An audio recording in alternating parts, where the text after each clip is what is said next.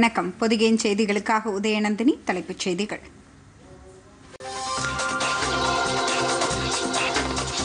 உயரிய சிந்தனைகள் உன்னத குறிக்கோள்கள் கொண்ட அதி அற்புதமான ஊக்குவிப்பு நூல் திருக்குறள் பிரதமர் நரேந்திர மோடி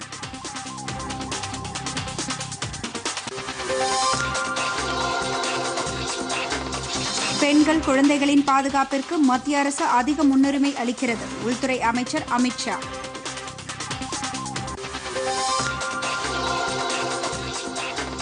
கிராமப்புற குடிநீர் சுகாதார திட்டங்களுக்காக தமிழக ஊரக உள்ளாட்சி அமைப்புகளுக்கு சுமார் தொள்ளாயிரத்து ஒரு கோடி ரூபாய் நிதி மத்திய அரசு ஒதுக்கீடு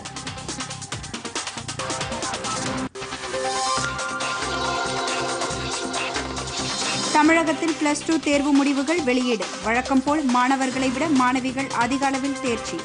திருப்பூர் மாவட்டம் முதலிடம் பிடித்தது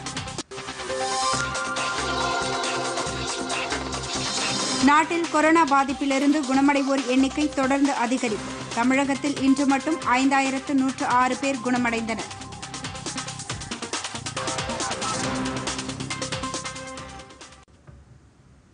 இனி விரிவான செய்திகள் உலக பொதுமறையான திருக்குறள் அதி அற்புதமான ஊக்குவிப்பு நூலாகும் என பிரதமர் நரேந்திர மோடி தெரிவித்துள்ளார்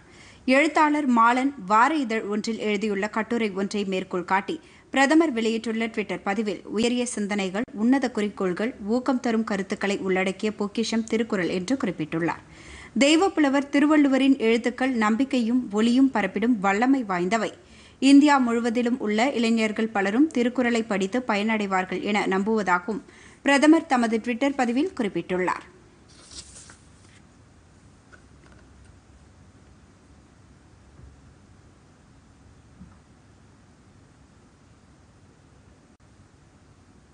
பிரதமர் நரேந்திர மோடி தலைமையிலான மத்திய அரசு பெண்கள் மற்றும் குழந்தைகளின் பாதுகாப்பிற்கு அதிக முக்கியத்துவம் அளித்து வருவதாக மத்திய உள்துறை அமைச்சர் அமித் ஷா தெரிவித்துள்ளார் இது தொடர்பாக அவர் வெளியிட்டுள்ள டுவிட்டர் பதிவில் பெண்கள் மற்றும் குழந்தைகளை பத்திரமாக பாதுகாக்க நரேந்திர மோடி அரசு அதிக முன்னுரிமை அளித்து வருவதாக குறிப்பிட்டுள்ளார் பெண்கள் மற்றும் குழந்தைகளுக்கு எதிரான இணையதள குற்றங்கள் குறித்து புகார் செய்ய cyber crime dot G O V dot in இணையதளத்தில் சிறப்பு ஏற்பாடு செய்யப்பட்டிருப்பதாகவும் அவர் கூறியுள்ளாா் இணையதள குற்றங்கள் தொடர்பாக பாதிக்கப்பட்டோரும் புகார் தெரிவிக்க விரும்புவோரும் ஆன்லைன் முறையிலேயே புகார் செய்ய ஏதுவாக இந்த இணையதளத்தை சில மாதங்களுக்கு முன் மத்திய அரசு தொடங்கியுள்ள நிலையில் உள்துறை அமைச்சர் இதனை தெரிவித்துள்ளார்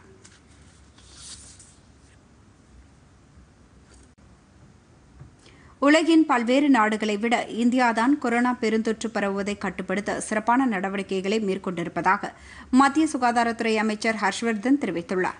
தில்லி எய்ம்ஸ் மருத்துவமனை வளாகத்தில் புதிய புறநோயாளிகள் பிரிவு கட்டிடத்தை தொடங்கி வைத்து பேசிய அவர் இந்தியாவில் கொரோனா பாதிப்பு நிலைமை ஒவ்வொரு நாளும் மேம்பட்டு வருகிறது என்றார் தற்போதைய நிலையில் இந்தியாவில் கொரோனா தொற்றிலிருந்து குணமடைவோர் விகிதம் அறுபத்தி மூன்று புள்ளி இரண்டு ஐந்து சதவீதமாகவும் உயிரிழப்பு இரண்டு புள்ளி ஐந்து ஏழு சதவீதமாகவும் இருப்பதை அமைச்சர் ஹர்ஷ்வர்தன் சுட்டிக்காட்டினார் இந்தியா அதிக மக்கள் தொகை கொண்ட நாடாக உள்ள போதிலும் நோய் தொற்றால் பாதிக்கப்பட்டோருக்கு சிகிச்சை அளிப்பது மற்றும் நோய் கட்டுப்பாட்டு பணியில் உலகின் பிற நாடுகளை விட சிறப்பாக செயல்பட்டுள்ளது என்றும் அவர் தெரிவித்தார் இந்தியாவின் வளர்ச்சி சரித்திரத்தில் பங்கேற்பதற்கான வாய்ப்பை பயன்படுத்தி பெருமளவில் முதலீடு செய்ய வருமாறு அமெரிக்க முதலீட்டாளர்களுக்கு பெட்ரோலியம் மற்றும் எஃகு துறை அமைச்சர் தர்மேந்திர பிரதான் அழைப்பு விடுத்துள்ளாா் அமெரிக்க இந்திய வர்த்தக கவுன்சில் ஏற்பாடு செய்திருந்த நிகழ்ச்சியில் அமெரிக்க எரிசக்தித்துறை அமைச்சருடன் கூட்டாக பங்கேற்று பேசிய தர்மேந்திர பிரதான் எரிசக்தி துறையில் இந்தியா மற்றும் அமெரிக்க நிறுவனங்கள் ஏற்கனவே சில கூட்டு முயற்சிகளை மேற்கொண்டுள்ள போதிலும் இத்துறையில் பெருமளவு முதலீட்டிற்கு வாய்ப்புள்ளதால் அதனை பயன்படுத்திக் கொள்ளுமாறு வலியுறுத்தினார் எரிசக்தி துறையில் இந்தியா அமெரிக்கா இடையிலான ஒத்துழைப்புகள் அதிகரித்து வருவதை சுட்டிக்காட்டிய அவர் இரு நாடுகளுக்கு இடையிலான நீடித்த ஒத்துழைப்புக்கு இது வலுவான அடித்தளம் இட்டுள்ளதாக கூறினார் கொரோனா பெருந்தொற்றால் ஏற்பட்டுள்ள சிக்கலான காலகட்டத்திலும் எரிசக்தி உள்ளிட்ட பல்வேறு துறைகளில் இரு நாடுகளும் ஒருங்கிணைந்து செயல்பட்டு வருவதாகவும் அவர் தெரிவித்தார் அடுத்த மூன்றரை ஆண்டுகளுக்குள் இந்திய ரயில்வே முற்றிலும் மின்சாரமயமாக்கப்படும் என ரயில்வே அமைச்சர் பியூஷ் கோயல் தெரிவித்துள்ளார் இந்திய தொழில் கூட்டமைப்பு ஏற்பாடு செய்திருந்த தற்சார்பு இந்தியா புதுப்பிக்கத்தக்க எரிசக்தி உற்பத்தி என்ற தலைப்பிலான கருத்தரங்கில் உரையாற்றிய அவர் இரண்டாயிரத்து முப்பதாம் ஆண்டிற்குள் இந்திய ரயில்வே தூய்மையான எரிசக்தியை பயன்படுத்தும் உலகின் முதல் பெரிய ரயில்வே துறையாக உருவெடுக்கும் என்றார் புதுப்பிக்கத்தக்க எரிசக்தி உற்பத்தியை அதிகரிக்க இந்தியாவில் உற்பத்தி செய்வோம் திட்டத்தின் கீழ் அரசு பல்வேறு ஊக்குவிப்பு நடவடிக்கைகளை மேற்கொண்டு வருவதாகவும் அவர் குறிப்பிட்டார் எரிசக்தி உற்பத்தி துறையை தற்சார்பு துறையாக மாற்றியமைக்க அரசு உறுதி பூண்டுள்ளதாகவும் அவர் தெரிவித்தார் ஒரு சூரியன் ஒரு உலகு ஒரு தொகுப்பு என்ற திட்டத்தை பிரதமர் நரேந்திர மோடி ஊக்குவித்து வருவதாகவும் புதுப்பிக்கத்தக்க எரிசக்தி துறையை இந்தியா உலகில் முன்னோடியாக திகழ்வதாகவும் அமைச்சர் பியூஷ் கோயல் கூறினார் புதுப்பிக்கத்தக்க மின்சார உற்பத்தி சுற்றுச்சூழல் ரீதியான பலன்களை அளிப்பதோடு நாட்டின் பொருளாதாரத்திற்கும் உகந்ததாக உள்ளது எனவும் அவர் தெரிவித்தார்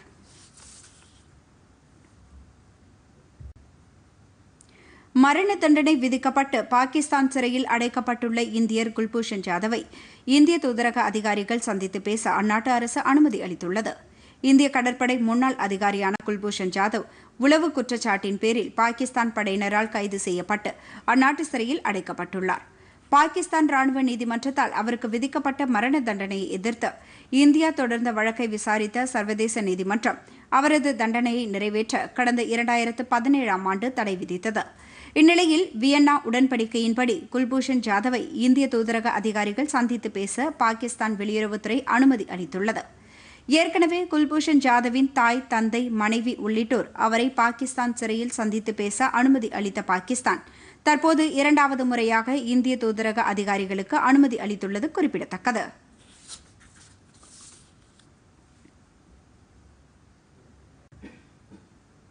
சட்டமன்ற உறுப்பினர் பதவியிலிருந்து தகுதி நீக்கம் செய்வது தொடர்பாக ராஜஸ்தான் சட்டப்பேரவைத் தலைவர் அனுப்பியுள்ள நோட்டீஸை எதிர்த்து சச்சின் பைலட் தரப்பினர் உயர்நீதிமன்றத்தில் வழக்கு தொடர்ந்துள்ளனர் ராஜஸ்தானில் அசோக் கெலாட் தலைமையிலான காங்கிரஸ் அரசுக்கு எதிராக போர்க்கொடி தூக்கிய அம்மாநில துணை முதலமைச்சர் சச்சின் பைலட் மற்றும் அவரது ஆதரவு அமைச்சர்கள் இருவர் நேற்று முன்தினம் அமைச்சரவையிலிருந்து நீக்கப்பட்டனா் இதனைத் தொடர்ந்து சச்சின் பைலட் மற்றும் அவரது ஆதரவு எம்எல்ஏக்கள் பதினெட்டு பேரை கட்சி தாவல் சட்டப்படி ஏன் தகுதி நீக்கம் செய்யக்கூடாது என்பது குறித்து மூன்று நாட்களுக்குள் பதிலளிக்குமாறு அம்மாநில சட்டப்பேரவைத் தலைவர் நோட்டீஸ் அனுப்பியுள்ளார் மேலும் காங்கிரஸ் எம்எல்ஏக்கள் கூட்டத்தில் பங்கேற்காதது ஏன் என்பது குறித்து இரண்டு நாட்களுக்குள் பதிலளிக்குமாறு பைலட் ஆதரவு சட்டமன்ற உறுப்பினர் ஒருவரின் வீட்டில் நோட்டீஸும் ஒட்டப்பட்டுள்ளது இந்நிலையில் தகுதி நீக்கம் தொடர்பான சட்டப்பேரவைத் தலைவரின் நோட்டீஸை எதிர்த்து சச்சின் பைலட் ஆதரவு சட்டமன்ற உறுப்பினர் ஒருவர் ராஜஸ்தான் உயர்நீதிமன்றத்தில் வழக்கு தொடர்ந்துள்ளார் இந்த வழக்கு விரைவில் விசாரணைக்கு எடுத்துக் கொள்ளப்படும் என தெரிகிறது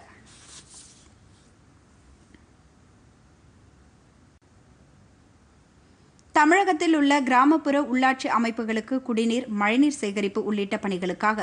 மத்திய அரசு சுமார் தொள்ளாயிரத்தோரு கோடி ரூபாயை ஒதுக்கீடு செய்துள்ளது பதினைந்தாவது நிதிக்குழு மற்றும் ஜல்சக்தி அமைச்சகத்தின் பரிந்துரை அடிப்படையில் இருபத்தி ஏழு மாநிலங்களுக்கு மத்திய அரசு முதல் தவணையாக பதினைந்தாயிரத்து நூற்றி எழுபத்தி ஏழு கோடி ரூபாய் நிதியை ஒதுக்கீடு செய்துள்ளது இதில் மக்கள் தொகை அடிப்படையில் தொன்னூறு சதவீத நிதியும் பரப்பளவு அடிப்படையில் பத்து சதவீத நிதியும் ஒதுக்கப்பட்டுள்ளது குடிநீர் மழைநீர் சேகரிப்பு தண்ணீர் மறுசுழற்சி கழிப்பிட சுகாதார வசதிகள் போன்ற குறிப்பிட்ட பணிகளுக்காக மட்டுமே பயன்படுத்த வேண்டும் என்ற நிபந்தனையுடன் கூடிய மானிய தொகையாக இந்த நிதி விடுவிக்கப்பட்டுள்ளது இதில் தமிழ்நாட்டிற்கு தொள்ளாயிரத்தோரு கோடியே எழுபத்தி ஐந்து லட்சம் ரூபாய் ஒதுக்கப்பட்டுள்ளது மாநில அரசுகள் இந்த நிதியை பெற்ற நாளிலிருந்து பத்து நாட்களுக்குள் சம்பந்தப்பட்ட உள்ளாட்சி அமைப்புகளுக்கு அதனை பிரித்து வழங்க வேண்டும் என்று மத்திய நிதி அமைச்சகம் அறிவுறுத்தியுள்ளது தமிழகத்தில் பனிரெண்டாம் வகுப்பு பொதுத் தேர்வு முடிவுகள் இணையதளத்தில் இன்று வெளியிடப்பட்டன தேர்வு எழுதிய ஏழு லட்சத்து தொன்னூற்று ஒன்பதாயிரத்து எழுநூற்று பதினேழு மாணவ மாணவிகளில் தொன்னூற்றி இரண்டு புள்ளி மூன்று சதவீதம் பேர் தேர்ச்சி பெற்றுள்ளனர் மாணவிகளில் தொன்னூற்று நான்கு புள்ளி எட்டு பூஜ்ஜியம் சதவீதம் பேரும் மாணவர்களில் எண்பத்தி ஒன்பது புள்ளி நான்கு ஒன்று சதவீதம் பேரும் தேர்ச்சி பெற்றனர் இதுகுறித்து அரசு தேர்வுகள் இயக்கம் வெளியிட்டுள்ள அறிக்கையில் மொத்தம் உள்ள ஏழாயிரத்து நூற்று இருபத்தி ஏழு பள்ளிகளில் இரண்டாயிரத்து நூற்றி இருபது பள்ளிகள் நூறு சதவீத தேர்ச்சி பெற்றதாக கூறப்பட்டுள்ளது அரசு பள்ளிகளில் எண்பத்தி ஐந்து புள்ளி தொன்னூற்று நான்கு சதவீதம் மாணவ மாணவிகள் தேர்ச்சி அடைந்துள்ளனர் மாவட்ட அளவில் திருப்பூர் மாவட்டத்தில் தொன்னூற்று ஏழு புள்ளி ஒன்று இரண்டு சதவீத மாணவ மாணவிகள் தேர்ச்சி பெற்று முதலிடம் பெற்றனர் ஈரோடு மாவட்டம் இரண்டாம் இடத்தையும் கோயம்புத்தூர் மாவட்டம் மூன்றாம் இடத்தையும் பிடித்தனர் தேர்வர்கள் தாங்கள் பயின்ற பள்ளி அல்லது தேர்வெழுதிய தேர்வு மையத்தின் தலைமை ஆசிரியர் வழியாக இணையதளத்தில் பதிவிறக்கம் செய்யப்பட்ட மதிப்பெண் பட்டியலை பெற்றுக்கொள்ளலாம் என்றும் இதற்கான தேதி பின்னர் அறிவிக்கப்படும் என்றும் தெரிவிக்கப்பட்டுள்ளது விடைத்தாள் நகல் மற்றும் மதிப்பெண் மறுக்கூட்டலுக்கு விண்ணப்பிக்க விரும்பும் பள்ளி மாணவர்கள் தாங்கள் பயின்ற பள்ளிகள் வழியாகவும் தனி தேர்வர்கள் தாங்கள் தேர்வு எழுதிய தேர்வு மையம் வழியாக விண்ணப்பிக்கலாம் என்று அறிவிக்கப்பட்டுள்ளது இம்மாதம் இருபத்தி ஏழாம் தேதி நடைபெறவுள்ள மறு தேர்வினை எழுதும் தேர்வர்களுக்கு மட்டும் தேர்வு முடிவடைந்த பின் அனைத்து பாடங்களுக்குமான தேர்வு முடிவுகள் வெளியிடப்படும் தேர்ச்சி பெறாத தேர்வர்கள் துணைத் தேர்விற்கு விண்ணப்பிக்கும் முறை மற்றும் தேதி குறித்து பின்னர் அறிவிக்கப்படும் என்று அரசு தேர்வுகள் இயக்கம் குறிப்பிட்டுள்ளது கொரோனா தொற்று பரவுவதை தடுப்பதற்காக உள்நாட்டிலேயே தயாரிக்கப்பட்டுள்ள இரண்டாவது தடுப்பூசியை மனிதர்களுக்கு செலுத்தி பரிசோதிக்கும் பணி தொடங்கியுள்ளது உலக நாடுகளில் இதுவரை காணாத பெரும் பாதிப்பை ஏற்படுத்தியுள்ள கொரோனா தொற்று பரவுவதை தடுப்பதற்கான மருந்து கண்டுபிடிக்கும் பணியில் இந்தியா ரஷ்யா அமெரிக்கா உள்ளிட்ட பல்வேறு நாடுகளும் ஈடுபட்டுள்ளன இந்தியாவில் புனேயில் தேசிய தொற்றுநோய் ஆராய்ச்சி நிறுவனம் மற்றும் ஹைதராபாத்தைச் சேர்ந்த பாரத் பயோடெக் நிறுவனத்துடன் இணைந்து இந்திய மருத்துவ ஆராய்ச்சி கவுன்சில் கோவேக்சின் என்ற தடுப்பூசியை உள்நாட்டிலேயே வடிவமைத்துள்ளது இந்த தடுப்பூசியை சென்னை எஸ்ஆர்எம் மருத்துவக் கல்லூரி பாட்னா எய்ம்ஸ் மருத்துவமனை உள்ளிட்ட பனிரண்டு மருத்துவமனைகளில் மனிதர்களுக்கு செலுத்தி பரிசோதிக்கும் பணி ஏற்கனவே தொடங்கி நடைபெற்று வருகிறது இந்நிலையில் அகமதாபாத்தைச் சேர்ந்த ஜைடஸ் கேடிலா நிறுவனம் ஜைகோடி எனப்படும் மற்றொரு தடுப்பூசியை உருவாக்கியுள்ளது பாரத் பயோடெக் நிறுவனத்தின் கோவேக்சின் தடுப்பூசி கொரோனா வைரஸ் திரிபுவிலிருந்து உருவாக்கப்பட்டுள்ள நிலையில் ஜைகோ டி தடுப்பூசி டிஎன்ஏ அடிப்படையில் தயாரிக்கப்பட்டுள்ளது ஜைகோட்டி தடுப்பூசியை விலங்குகளுக்கு செலுத்தி பரிசோதித்ததில் இவை நம்பகமானவை பாதுகாப்பானவை என்பதோடு நோய் எதிர்ப்பு சக்தியை உருவாக்கும் திறன் கொண்டது எனவும் தெரியவந்துள்ளதாக கூறப்படுகிறது இதையடுத்து இந்த தடுப்பூசியை மனிதர்களுக்கு செலுத்தி பரிசோதிக்க இந்திய மருந்து கட்டுப்பாட்டு அமைப்பு ஒப்புதல் அளித்துள்ளது அதன் பேரில் ஜைடஸ் கேடிலா நிறுவனம் தடுப்பூசியை ஆயிரம் பேருக்கு செலுத்தி பரிசோதிக்க தொடங்கியிருப்பதாக தெரிவித்துள்ளது அகமதாபாத் உள்ளிட்ட இடங்களில் இந்த பரிசோதனை தொடங்கியுள்ளது இரண்டு கட்டமாக நடத்தப்படும் இந்த சோதனையின் போது தடுப்பூசியின் தன்மைகள் முழுமையாக ஆராயப்படும் முதற்கட்ட பாதுகாப்பு சோதனை எண்பத்தி நான்கு நாட்களிலும் இரண்டாம் கட்ட பரிசோதனை அடுத்த எண்பத்தி நான்கு நாட்களிலும் நிறைவடையும் என எதிர்பார்க்கப்படுகிறது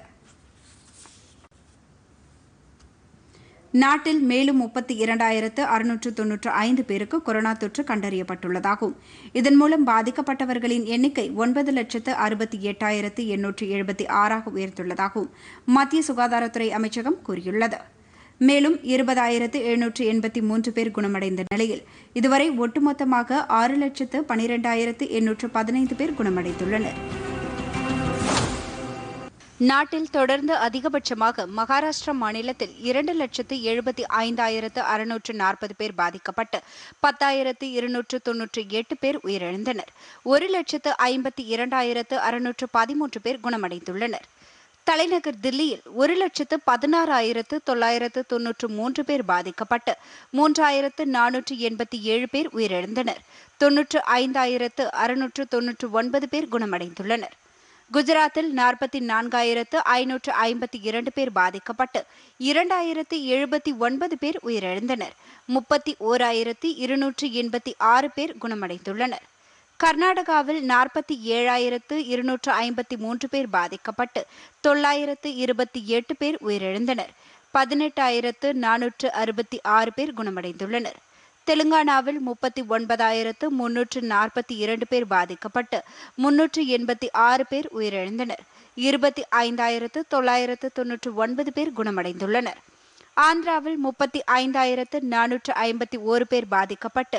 நானூற்று ஐம்பத்தி இரண்டு பேர் உயிரிழந்தனர் பதினெட்டாயிரத்து முன்னூற்று எழுபத்தி எட்டு பேர் குணமடைந்துள்ளனர் கேரளாவில் ஒன்பதாயிரத்து ஐநூற்று ஐம்பத்தி மூன்று பேர் பாதிக்கப்பட்டு முப்பத்தி ஐந்து பேர் உயிரிழந்தனர் நான்காயிரத்து அறுநூற்று முப்பத்தி நான்கு பேர் குணமடைந்துள்ளனர் நாட்டில் மேலும் அறுநூற்று ஆறு பேர் உயிரிழந்ததை அடுத்து ஒட்டுமொத்தமாக இருபத்தி நான்காயிரத்து தொள்ளாயிரத்து பதினைந்து பேர் உயிரிழந்தனர்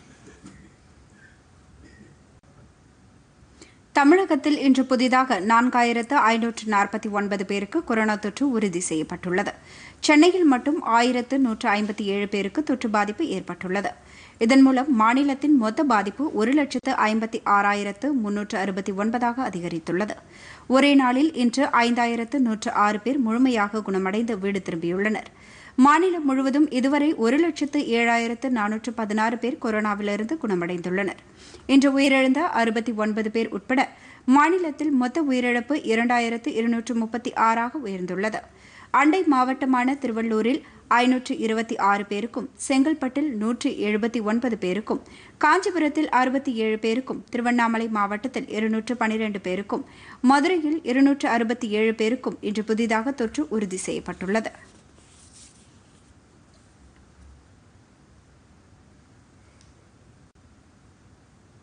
கொரோனா தொற்றால் பாதிக்கப்பட்டவர்களுக்கு சிகிச்சை அளிப்பதற்கென திருப்பத்தூர் மாவட்டத்தில் அமைக்கப்பட்டுள்ள சிறப்பு சித்த மருத்துவமனையை வணிக வரித்துறை அமைச்சர் கே சி வீரமணி திறந்து வைத்தார் கொரோனா பெருந்தொற்றால் பாதிக்கப்பட்டவர்களுக்கு சித்தா ஹோமியோபதி உள்ளிட்ட ஆயுர்வேத மருந்துகள் பெரும் பலன் அளித்து வருவதை அடுத்து கபசுர குடிநீர் உள்ளிட்ட இந்திய முறை மருந்துகள் தற்போது நாடு முழுவதும் பெருமளவில் வழங்கப்பட்டு வருகிறது சென்னை உள்ளிட்ட இடங்களில் பிரத்யேக கொரோனா சித்த மருத்துவ முகாம்களும் அமைக்கப்பட்டு செயல்பட்டு வருகின்றன இந்நிலையில் திருப்பத்தூர் மாவட்டம் நாற்றம்பள்ளி அருகே உள்ள அக்ரஹாரம் பகுதியில் கொரோனா சிறப்பு சித்த மருத்துவ சிகிச்சை மையத்தை வணிக வரித்துறை அமைச்சர் கே சி வீரமணி இன்று திறந்து வைத்தார்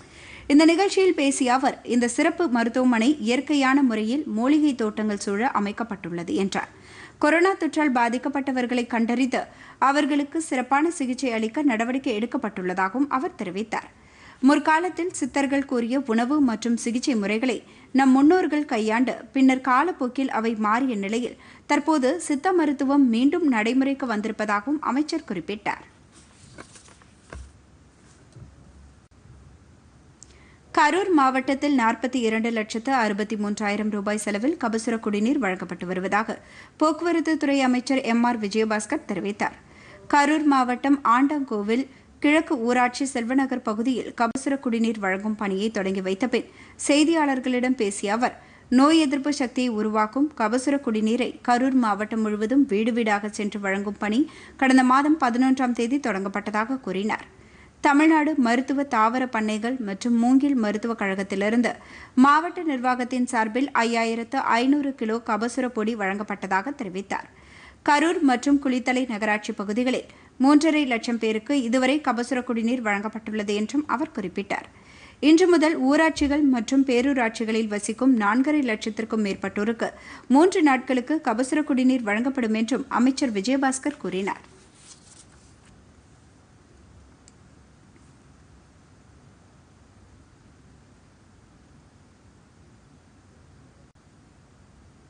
நீட் தேர்விலிருந்து விலக்களிக்க கோரி தமிழக அரசு எழுதிய கடிதத்திற்கு மத்திய அரசிடமிருந்து இதுவரை பதில் வரவில்லை என மக்கள் நல்வாழ்வுத்துறை அமைச்சர் சி விஜயபாஸ்கர் தெரிவித்துள்ளார் சென்னை எழும்பூர் மகப்பேறு மருத்துவமனையில் ஆய்வு மேற்கொண்ட அவர் கர்ப்பிணி பெண்களுக்கு வழங்கப்படும் உணவு மற்றும் மருந்துகள் குறித்து கேட்டறிந்து அவர்களுக்கு நோய் எதிர்ப்பு சக்தியை அதிகரிக்கும் குடிநீர் மற்றும் விழிப்புணர்வு கையேட்டினை வழங்கினார் கொரோனாவால் பாதிக்கப்பட்டு சிகிச்சை பெறும் கர்ப்பிணி பெண்களுடன் காணொலி காட்சி மூலமும் அவர் உரையாடினார் பின்னர் செய்தியாளர்களிடம் பேசிய அமைச்சர் தமிழகம் முழுவதும் ஆயிரத்து அறுநூற்று ஆறு கர்ப்பிணி பெண்கள் கொரோனா தொற்றால் பாதிக்கப்பட்டு இதுவரை ஆயிரத்து நூற்று நான்கு பேர் குணமடைந்துள்ளதாக கூறினார் எழும்பூர் மருத்துவமனையில் மட்டும் நூறு கர்ப்பிணி பெண்கள் கொரோனா தொற்றுக்கு சிகிச்சை அளிக்கப்பட்டு இதுவரை முன்னூற்று எழுபத்தி நான்கு பேர் வீடு திரும்பியிருப்பதாகவும் அவர் குறிப்பிட்டார் எனவே மகப்பேறு மருத்துவமனைகளில் கூடுதல் முன்னெச்சரிக்கையுடன் சிகிச்சை அளிக்கப்படுவதாகவும் கொரோனா தொற்று இல்லாத கர்ப்பிணிகளுக்கு தனி படுக்கை மற்றும் தனி வழி ஏற்படுத்தப்பட்டிருப்பதாகவும் அவர் தெரிவித்தார் முதியவர்களுக்கான பிசிஜி தடுப்பு மருந்து சோதனை அளவில் இருப்பதாகவும் அமைச்சர் சி விஜயபாஸ்கர் குறிப்பிட்டார்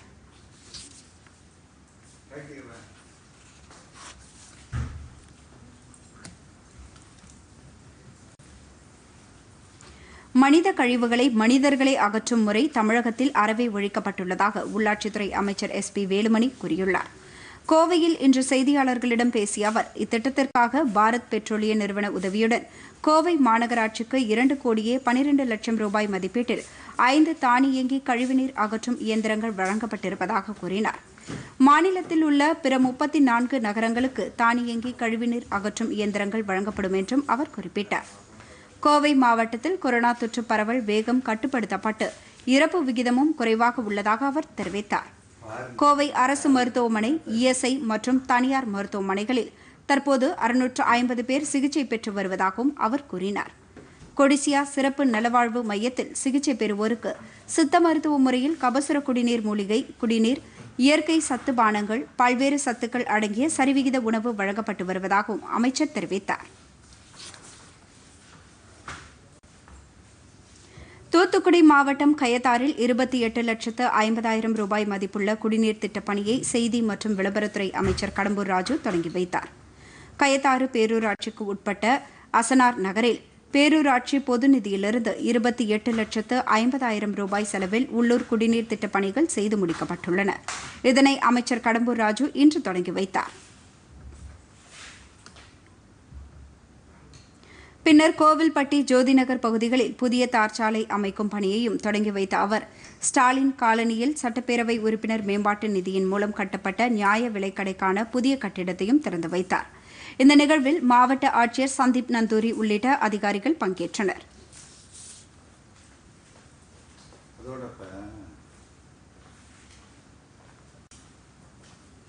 கால்நடைகளுக்கு கோமாரி தடுப்பூசி போடுவதற்கு ஆம்புலன்ஸ் பயன்படுத்தப்படும் என்று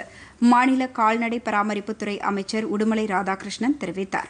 பொள்ளாச்சி அருகே உள்ள ஜோதம்பட்டி உள்ளிட்ட மூன்று கிராமங்களில் புதிதாக கட்டப்பட்ட அரசு கட்டிடங்களை திறந்து வைத்த பின் செய்தியாளர்களிடம் பேசிய அவர் தமிழகத்தில் கால்நடை மருந்தகங்கள் கால்நடை கிளை நிலையங்களில் கோமாரி தடுப்பூசி போடப்படுவதாக கூறினாா்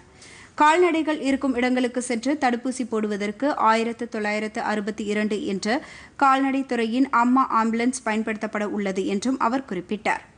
பிளஸ் டூ தேர்ச்சியில் திருப்பூர் மாவட்டம் தொடர்ந்து இரண்டாவது ஆண்டாக தமிழகத்தில் முதலிடம் வகிக்கிறது என்று அவர் பெருமிதம் தெரிவித்தார் இந்த சாதனையை எட்ட உதவிய ஆசிரியர்களுக்கு பாராட்டு விழா நடத்தப்படும் என்றும் அமைச்சர் உடுமலை ராதாகிருஷ்ணன் கூறினார்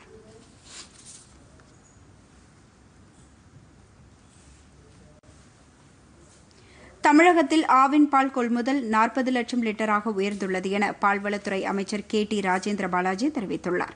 விருதுநகரில் இன்று செய்தியாளர்களிடம் பேசிய அவர் கொரோனா பாதிப்பு காலத்திலும் ஆவின் பாலுக்கு கட்டுப்பாடு இல்லாத நிலையை அரசு உருவாக்கியுள்ளது என்றார்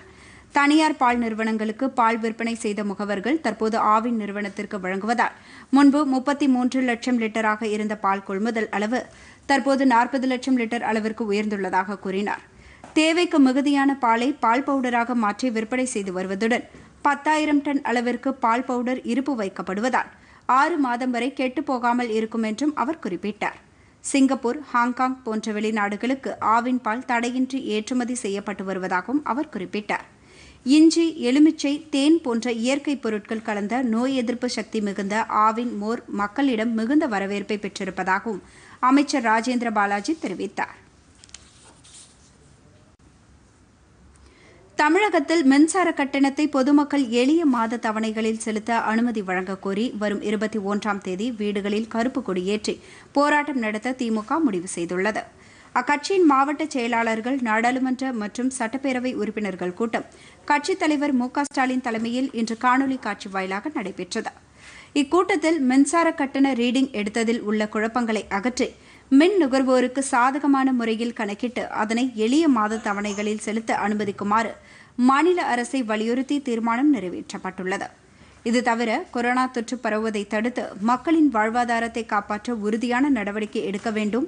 மருத்துவ படிப்பில் பிற்படுத்தப்பட்டோர் மற்றும் மிகவும் பிற்படுத்தப்பட்டோருக்கு ஐம்பது சதவீத இடஒதுக்கீடு வழங்க வேண்டும் நீட் தேர்வை ரத்து செய்ய வேண்டும் சாத்தான்குளம் ஜெயராஜ் பெனிக்ஸ் உயிரிழப்பிற்கு விரைந்து நீதி கிடைக்க வேண்டும் விவசாயிகளுக்கான இலவச மின்சாரத்தை ரத்து செய்வதற்கு வகை செய்யும் மின்சார திருத்த சட்டத்தை திரும்பப் பெற வேண்டும் கூட்டுறவு வங்கிகளை ரிசர்வ் வங்கி கட்டுப்பாட்டில் ஒப்படைக்கக்கூடாது கல்லூரி மற்றும் பல்கலைக்கழகங்களில் இறுதி செமஸ்டர் தேர்வு மற்றும் அனைத்து செமஸ்டர் தேர்வுகளையும் ரத்து செய்ய வேண்டும் என்பது உள்ளிட்ட பத்து தீர்மானங்கள் இக்கூட்டத்தில் நிறைவேற்றப்பட்டுள்ளன கொரோனா பொது ஊரடங்கால் வேலை வாய்ப்பை இழந்து பாதிக்கப்பட்டவர்கள் சொந்த ஊர் திரும்ப இ பாஸ் வழங்க உத்தரவிடக் கோரிய மனு மீது ஒரு வாரத்திற்குள் பதிலளிக்கும்படி தமிழக அரசுக்கு சென்னை உயர்நீதிமன்றம் உத்தரவிட்டுள்ளது சென்னை பெசன் நகரைச் சேர்ந்த ஒருவர் தாக்கல் செய்த மனுவில் பொது ஊரடங்கு காரணமாக சென்னையில் உள்ள பலர் வேலை வாய்ப்புகளையும் வருமானத்தையும் இழந்து தவிப்பதாக குறிப்பிட்டுள்ளார் எனவே இந்த சூழலில் சொந்த ஊர் செல்ல பலர் விரும்புவதாகவும் மனுவில் அவர் கூறியுள்ளார் ஆனால் சொந்த ஊர் செல்வதற்கு இ பாஸ் வழங்கப்படாததால் இவர்கள் உணவு மற்றும் தங்கும் இடத்திற்கு செலவு செய்ய முடியாமல் அவதிப்படுவதாகவும் மனுவில் தெரிவித்துள்ளார் எனவே வேலை இழந்த வறுமை நிலையில் உள்ள இவர்களை சொந்த ஊர் செல்ல அனுமதிக்க வேண்டும் அல்லது உணவு மற்றும் தங்கும் வசதியை அளிக்க என்று மனுவில் வலியுறுத்தப்பட்டுள்ளது இந்த மனுவை விசாரித்த நீதிபதிகள் எம் எம் சுந்தரேஷ் ஹேமலதா அடங்கிய அமர்வு மனு மீது ஒரு வாரத்திற்குள் பதிலளிக்கும்படி தமிழக அரசிற்கு உத்தரவிட்டது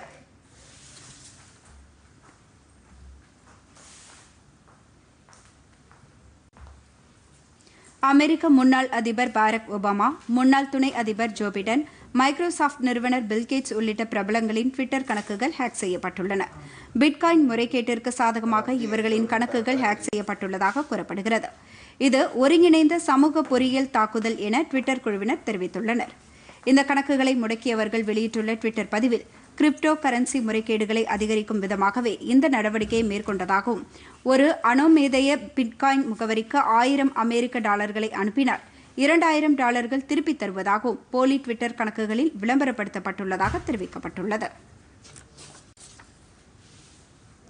தமிழகத்தில் பல்வேறு மாவட்டங்களில் இன்றும் நாளையும் லேசானது முதல் மிதமானது வரை மழை பெய்யும் என்று சென்னை வானிலை மையம் தெரிவித்துள்ளது அந்த மையம் வெளியிட்டுள்ள அறிக்கையில் நீலகிரி கோயம்புத்தூர் தேனி திண்டுக்கல் திருப்பூர் ஈரோடு கிருஷ்ணகிரி மற்றும் தருமபுரி மாவட்டங்களில் லேசானது முதல் மிதமான மழை பெய்யும் என்று கூறியுள்ளது சென்னை திருவள்ளூர் காஞ்சிபுரம் விழுப்புரம் கடலூர் நாகப்பட்டினம் புதுச்சேரி காரைக்கால் பகுதிகளில் லேசான மழை பெய்யும் என்றும் தெரிவிக்கப்பட்டுள்ளது அடுத்த இருபத்தி நான்கு மணி நேரத்தில் சென்னையை பொறுத்தவரை பொதுவாக வானம் மேகமூட்டத்துடன் காணப்படும் என்றும் சில இடங்களில் லேசான மழைக்கு வாய்ப்பு இருப்பதாகவும் கூறியுள்ளது அதிகபட்சமாக முப்பத்தி நான்கு டிகிரி செல்சியஸாகவும் குறைந்தபட்சமாக வெப்பநிலை இருபத்தி ஆறு டிகிரி செல்சியஸாகவும் பதிவாகும் என்றும் வானிலை மையம் வெளியிட்டுள்ள செய்திக்குறிப்பில் குறிப்பிடப்பட்டுள்ளது கடந்த இருபத்தி நான்கு மணி நேரத்தில் திருவாடானையில் ஒன்பது சென்டிமீட்டர் மழையும் அவலாஞ்சியில் ஆறு சென்டிமீட்டர் மழையும் புதுக்கோட்டை சின்னக்கல்லார் மேல்பவானி நாகுடி ஆகிய இடங்களில் தலா ஐந்து சென்டிமீட்டர் மழையும் திருப்பத்தூர் மானாமதுரை டேனிஷ்பேட்டை ஆகிய இடங்களில் தலா நான்கு சென்டிமீட்டர் மழையும் பதிவாகியுள்ளது மீண்டும் தலைப்புச் செய்திகள்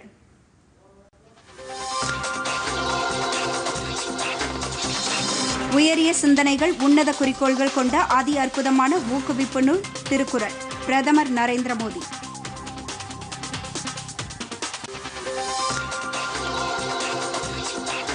பெண்கள் குழந்தைகளின் பாதுகாப்பிற்கு மத்திய அரசு அதிக முன்னுரிமை அளிக்கிறது உள்துறை அமைச்சர் அமித்ஷா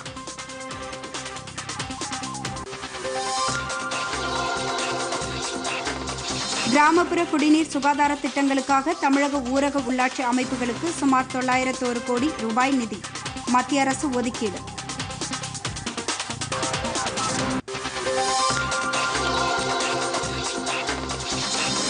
தமிழகத்தில் பிளஸ் டூ தேர்வு முடிவுகள் வெளியீடு வழக்கம் போல் மாணவர்களை விட மாணவிகள் அதிகளவில் தேர்ச்சி திருப்பூர் மாவட்டம் முதலிடம் பிடித்தது நாட்டில் கொரோனா பாதிப்பிலிருந்து குணமடைவோர் எண்ணிக்கை தொடர்ந்து அதிகரிப்பு தமிழகத்தில் இன்று மட்டும் ஐந்தாயிரத்து நூற்று ஆறு பேர் குணமடைந்தனர்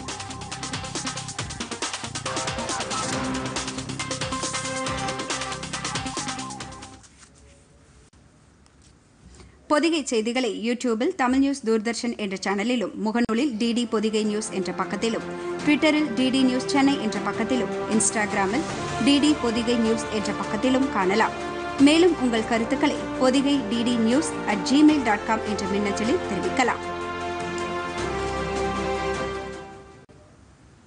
இத்துடன் இந்த செய்தி அறிக்கை நிறைவு பெறுகிறது வணக்கம்